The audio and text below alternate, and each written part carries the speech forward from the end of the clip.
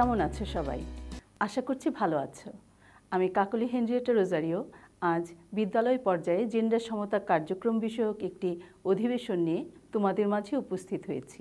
তোমরা জানো, বর্তমান সরকার কিশোর কিশোরীদের জন্য জেন্ডার সমতা ভিত্তিক পরিবেশ গঠনের লক্ষ্যে কাজ করে যাচ্ছে। এই উদ্দেশ্যকে সামনে রেখে জাতিসংঘ, জনসংখ্যা তহবিলের অর্থায়নে মাধ্যমিক ও উচ্চশিক্ষা অধিদপ্তর দেশের নির্বাচিত মাধ্যমিক পর্যায়ের কিছু শিক্ষা প্রতিষ্ঠানে কিশোর কিশোরী বান্ধব একটি প্রকল্প বাস্তবায়ন করেছে। তোমরা অনেকেই শুনে থাকবে জেনারেশন ব্রেক থ্রু প্রকল্পের কথা। দশ থেকে ১৯ বছর বয়সে কিশোর কিশোরীদের জেন্ডার সমতা ও বয়সন্ধিকালীন যৌন ও প্রজনন স্বাস্থ্য সেবা সম্পর্কে সঠিক তথ্য সরবরাহ করাই এই প্রকল্পের মূল উদ্দেশ্য। ভবিষ্যৎ সুনাগরিক হিসাবে গড়ে তোলার জন্য তোমাদের শারীরিক ও মানসিক সুস্থতা নিশ্চিত করতে বাংলাদেশ সরকার সব সময় তোমাদের পাশে আছে। প্রচলিত সমাজ ব্যবস্থা কিছু নির্দিষ্ট বিষয়ে আমাদের চিন্তাধারা নির্দিষ্ট ছাঁচে ফেলে দেয়।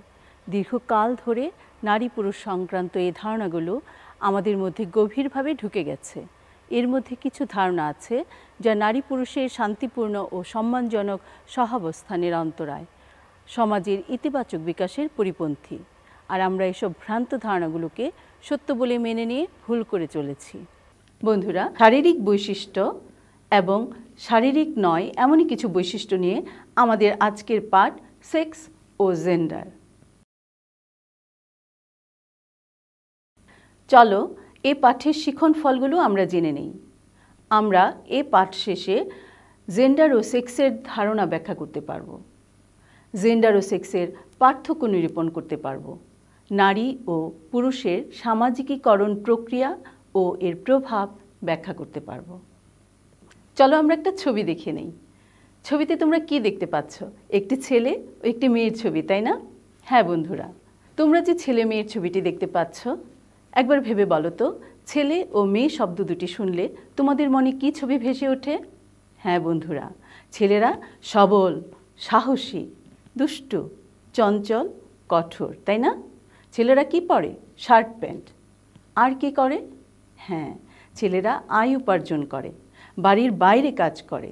চুলগুলো কেমন রাখে? ছোট ছোট, তাই না? আর কি হয়? ছেলেদের দাঁড়ি গোফ হয়, কণ্ঠস্বর ভারী হয়, তাই তো? এবার চলো দেখি, মেয়ে শব্দটি শুনলে তোমাদের চোখে কি ধরনের ছবি ভেসে ওঠে? হ্যাঁ বন্ধুরা, মেয়েরা আবেগপ্রবণ হয়। শান্ত হয়, দুর্বল হয়, লাজুক হয়, ভীরু, মমতাময়ী হয়। ঠিক বলেছ। সেই সাথে মেয়েরা কি পরে? সালোয়ার, কামিজ, শাড়ি পরে। ঘরের বাইরে কাজ করে না, কিন্তু তারা ঘরের ভেতরে কাজ করে। তাদের চুল থাকে বড় বড়, তাই না? দাড়িখোপ হয় কি? না। দাড়ি দাড়িখোপ তো হয় না। কণ্ঠস্বর চিকন হয়, কোমল হয়। আর কি আছে বন্ধুরা? হ্যাঁ মেয়েদের সন্তান জন্মদান করার সক্ষমতা আছে, অর্থাৎ মেয়েরা সন্তান ধারণ করে এবং জন্ম দেয়। কি বন্ধুরা, এই বৈশিষ্ট্যগুলো কি ঠিক আছে? এবার বন্ধুরা, একটু ভেবে বলো। এই যে বৈশিষ্ট্যর কথাগুলো তোমরা বললে, এর মধ্যে কোনগুলো ছেলে ও মেয়ে উভয়ের মধ্যে থাকতে পারে? কোনগুলো শারীরিক এবং কোনগুলো শারীরিক নয়? হ্যাঁ বন্ধুরা, তোমরা যদি শারীরিক বিষয়ের কথা বলো, তাহলে ছেলেদেরও দুটি পা আছে মেয়েদেরও দুটি পা আছে, ছেলেদের দুটি হাত আছে, মেয়েদেরও দুটি হাত আছে। ছেলেদের দুটি চোখ, দুটি কান, মাথা, নাক, মুখ আছে, মেয়েদেরও তাই আছে, তাই না? হ্যাঁ শারীরিক কিছু পার্থক্য তো আছে তোমরা কিন্তু এখানে উল্লেখ করনি। একটু ভেবে বলো তো কি? হ্যাঁ বন্ধুরা, তা হচ্ছে ছেলেদের দাড়ি গোফ হয়, মেয়েদের হয় না। ছেলেদের কণ্ঠস্বর ভারী হয়, মেয়েদের কণ্ঠস্বর চিকন বা কোমল হয়। মেয়েরা সন্তান জন্মদান করতে পারে, ছেলেরা তা করতে পারে না। অর্থাৎ ছেলেরা সন্তান ধারণ করতে পারে না। বন্ধুরা, একটু ভেবে দেখো, এই যে বৈশিষ্ট্যগুলোর কথা বলেছ, এখানে কোন কোন বৈশিষ্ট্যগুলো ছেলে মেয়ে উভয়ের মধ্যে আছে? হ্যাঁ ঠিকই বলেছ, ছেলেরা সবল, সাহসী, দুষ্টু চঞ্চল। কিন্তু মেয়েরাও কিন্তু সবল, সাহসী, দুষ্টু চঞ্চল হতে পারে না, নিশ্চয়ই পারে। ছেলেরা কিন্তু ভীরু, লাজুকও হতে পারে, মমতাময়ীও হতে পারে। যা মেয়েদের মধ্যে আছে। তাহলে এই যে গাঢ় নীল রঙে তোমরা যে বৈশিষ্ট্যগুলোর কথা দেখতে পাচ্ছ বা যে বৈশিষ্ট্যগুলো উল্লেখ করা হয়েছে, এই বৈশিষ্ট্যগুলো কিন্তু শারীরিক হলেও এগুলি আবেগিক। আবেগ একটি সহজাত প্রকৃতি। ছেলে মেয়ে উভয়ের মধ্যেই তা থাকতে পারে। চলো এবার আমরা একটি ভিডিও দেখে নিই। দেখছেন কি কারবার? মেয়ে মানুষ, ভাবভঙ্গি দেখলে মনে হয় ছেলে। তা আপনি কি ডাক্তার? না আমি হাসপাতালের নার্স। হ্যাঁ এই সবই দেখি উল্টা পাল্টা কেন ভাই? তাতে কোনো সমস্যা? ছেলে মেয়ে উভয়ই হাসপাতালের নার্স হয়। আর শোনেন কোনো মেয়ে যদি ছেলের মতো চলাফেরা করে তাতে তো কারও কোনো ক্ষতি হচ্ছে না। সে আছে তার মতো। তাকে তার মতো থাকতে দিন। হ্যাঁ? হ্যাঁ তা বটে তা বটে। অতি মূল্যবান কথা। একটা অতি স্বাভাবিক ব্যাপারকে কেমন পেঁচিয়ে ফেললাম। আপনি একজন নার্স।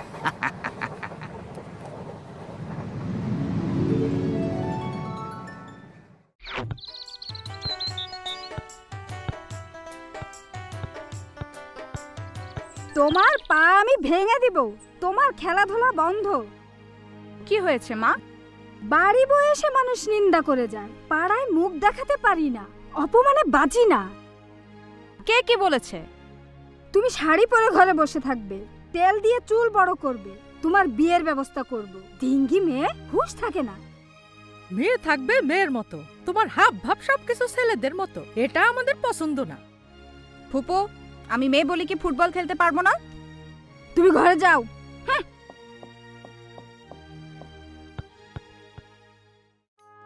এই বাড়িতে কোনো স্বাধীনতা নেই। কেউ আমার চাওকে গুরুত্ব দেয় না। যা করব তাতেই বাধা। আমি খেলতে ভালোবাসি গাছে চড়তে ভালোবাসি গাড়ি চালাতে চাই মন খুলে ঘুরে বেড়াতে চাই। আমি তো অন্যায় কিছু করছি না। তাহলে আমাকে সবাই বাধা দেয় কেন? আমি আমি একদিন ঠিকই কোথাও চলে যাব। কোথায় যাচ্ছ? কেউ আমাকে বুঝতে চায় না। শুধু বলে আমি দিন দিন ছেলেদের মতো হয়ে যাচ্ছি। বাবা আমি আমার মতো। আমি জানি তুই তোর মতো।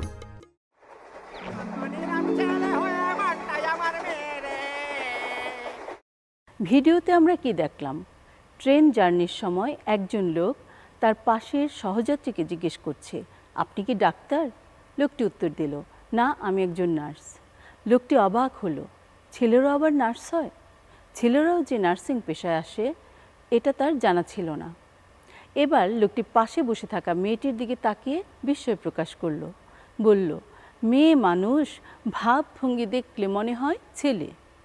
বন্ধুরা, মেয়েটিকে ছেলে মনে হয়। লোকটির কথা বলার কারণ কি তোমরা নোটিশ করতে পেরেছ?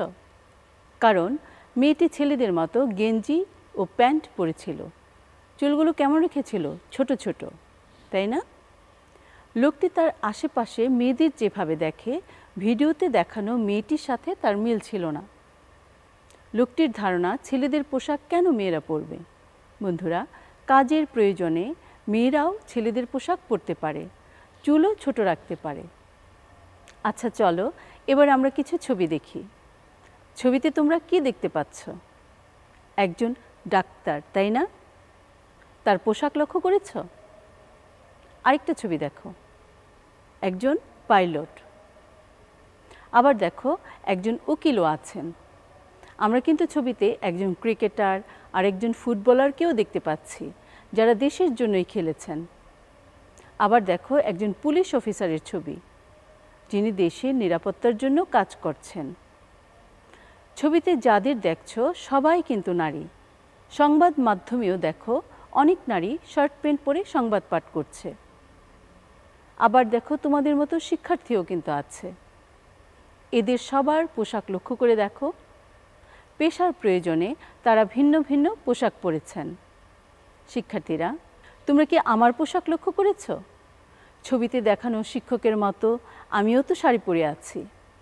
তোমাদের অনেকের মায়েরাও শাড়ি পরেন, তাই না? তাহলে ছবিগুলো দেখে আমরা কি বুঝলাম বলো তো? কাজের প্রয়োজনেই নারীরা ভিন্ন ভিন্ন পোশাক পরেন। শুধু নারীরা নন, পুরুষেরাও কাজের প্রয়োজনে ভিন্ন ভিন্ন পোশাক পরেন।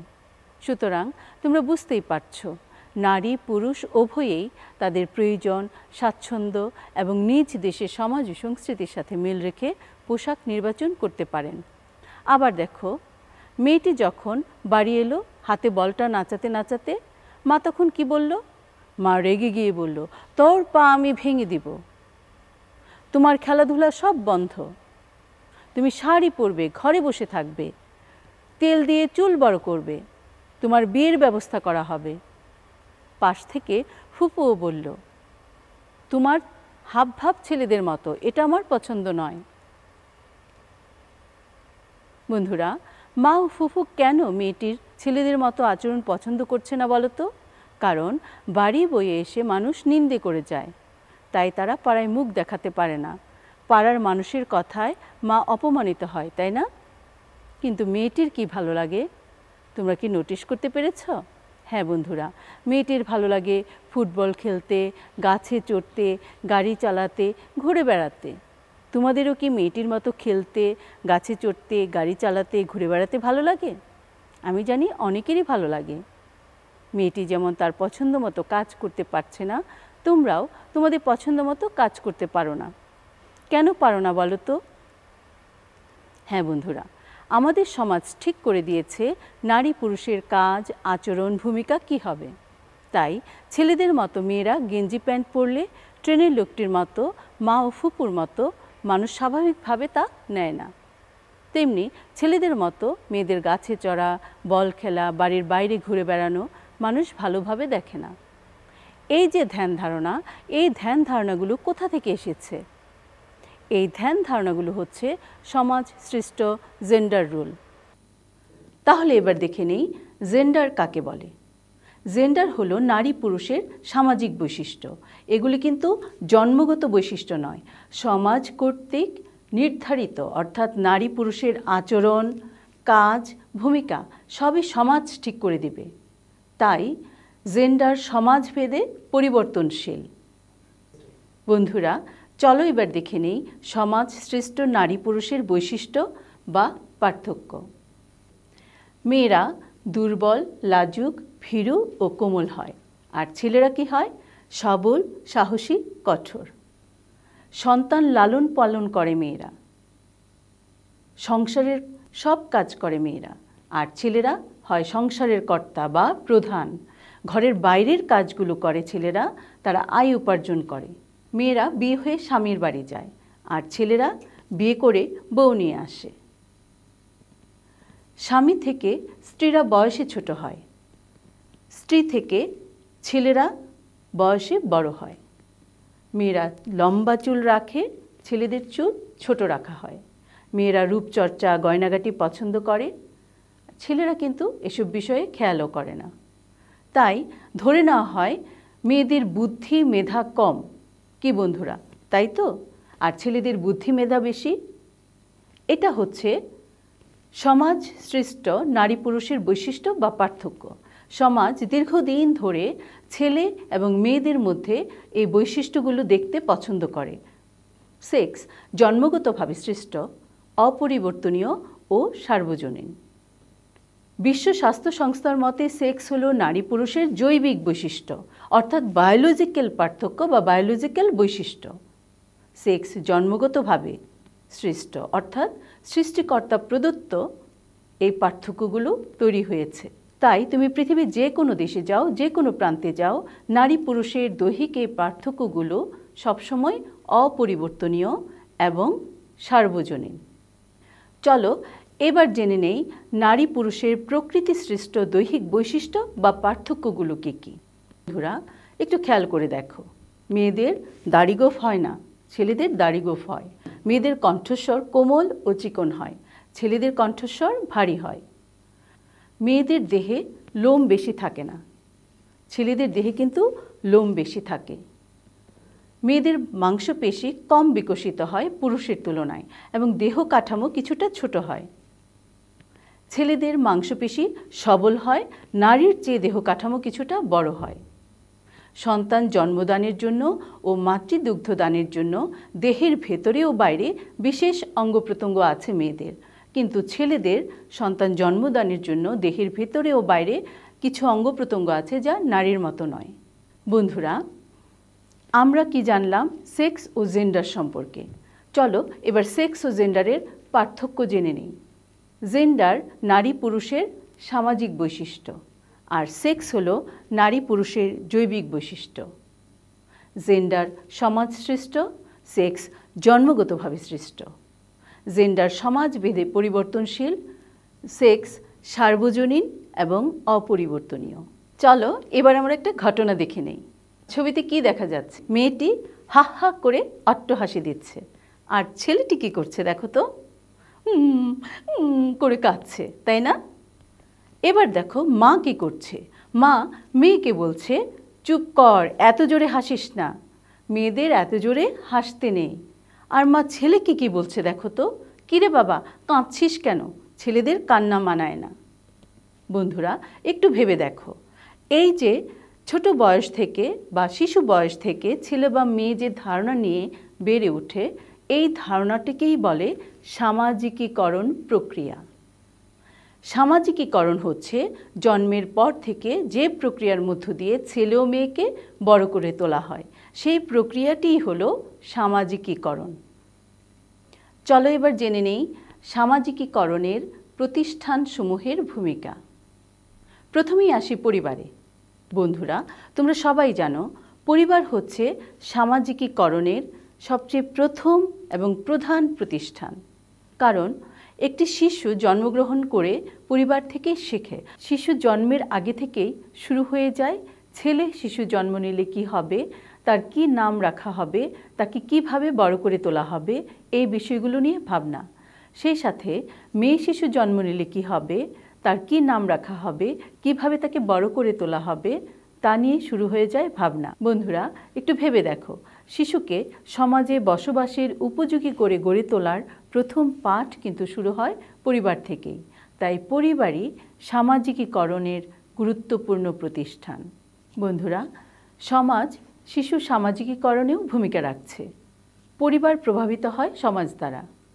শিশু যখন পরিবার থেকে সমাজে যায়, অর্থাৎ আত্মীয় স্বজনের সাথে কথা বলে, পাড়া প্রতিবেশীদের সাথে মেশে, বিভিন্ন আচার অনুষ্ঠানে অংশগ্রহণ করে তখন শিশুর মূল্যবোধ তৈরি হয়ে যায়। তাই পরিবার শিশুর মূল্যবোধ গঠনে যেমন ভূমিকা রাখে, সমাজও শিশুর মূল্যবোধ গঠনে বিরাট ভূমিকা রাখে। এরপর শিশু আসে বিদ্যালয়ে। শিশু তার জীবনের একটা বড় অধ্যায় বিদ্যালয়ে কাটায়। সেখানে শিক্ষক, বিদ্যালয়ের নিয়মকানুন সহপাঠীরা শিশুর গঠনে প্রভাব ফেলে। এখানেও সমাজের রীতিনীতি, সংস্কৃতি, মূল্যবোধ শেখানো হয়। আর পাঠ্যপুস্তক তো রয়েছেই। দু হাজার দুই সালের এনভি ব্যানোক্রাইটিসের একটি স্টাডিতে দেখা গেছে। শিক্ষকগণ প্রায়ই ছেলেদের চঞ্চলতা, মেজাজ, স্বনির্ভরতা, বহির্মুখিতা, প্রতিযোগিতামূলক মনোভাবকে ইতিবাচক মূল্যায়ন করে থাকে। অপরদিকে, মেয়েদের বাধ্য, নম্র, শান্ত, দয়ালু এবং অপ্রতিবাদী হতে উৎসাহিত করে। এরপরে আসে মিডিয়ার প্রভাব। মিডিয়াকে অনেকেই বলে সমাজের দর্পণ। বর্তমান সময়ে মিডিয়া মানুষের জীবনে ভীষণ প্রভাব ফেলছে। মানুষ কী খাবে, কি পড়বে, কি বলবে, কীভাবে চলবে সব কিছুরই প্রভাব রয়েছে মিডিয়াতে, বিশেষ করে সংবাদপত্র, টেলিভিশন ও সামাজিক যোগাযোগ মাধ্যম। তাই মিডিয়া একটি বড় মাধ্যম সামাজিকীকরণ প্রক্রিয়ার। এরপরে আসে ধর্ম। আমাদের মানুষ গঠনে ধর্ম বড় ভূমিকা রাখে। আমাদের বিশ্বাস কি হবে, সংস্কৃতি কি হবে আবেগ কীভাবে প্রকাশ করব এসব ক্ষেত্রে ধর্ম আমাদের নির্দেশনা দিয়ে থাকে। নারী পুরুষ কীভাবে চলবে, কি পড়বে, কি করবে, কার দায়িত্ব কি হবে, কে কতটুকু সম্পদ পাবে, এ সমস্ত কিছুই ধর্ম নির্ধারণ করে দেয়। তাই সামাজিকীকরণের আরেকটি গুরুত্বপূর্ণ মাধ্যম হলো ধর্ম। বন্ধুরা, আমরা এতক্ষণ দেখলাম কীভাবে পরিবার, সমাজ, বিদ্যালয়, মিডিয়া এবং ধর্ম আমাদের সামাজিকীকরণে ভূমিকা রাখছে। এই সামাজিকীকরণেরও কিছু নেতিবাচক প্রভাব রয়েছে। চলো এবার এ সম্পর্কে জেনে নেই। সামাজিকীকরণের ফলে ছেলেমেয়েরা তাদের পছন্দ অনুযায়ী কাজ করতে পারে না। যেমন, তোমরা দেখেছ মেয়েটি কি করতে চাইছিল? ভিডিওতে তোমরা দেখেছ মেয়েটি ফুটবল খেলতে চাইছে, কিন্তু তাকে করতে দেওয়া হচ্ছে না।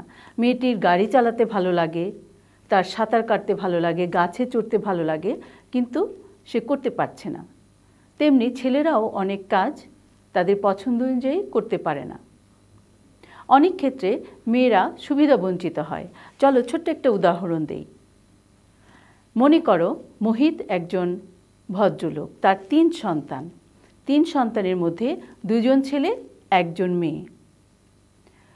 মিস্টার মোহিত যে আয় রোজগার করেন, সেই আয় রোজগার দিয়ে তার তিন সন্তানকে একই রকমভাবে ভালো স্কুলে পড়াতে পারবেন না।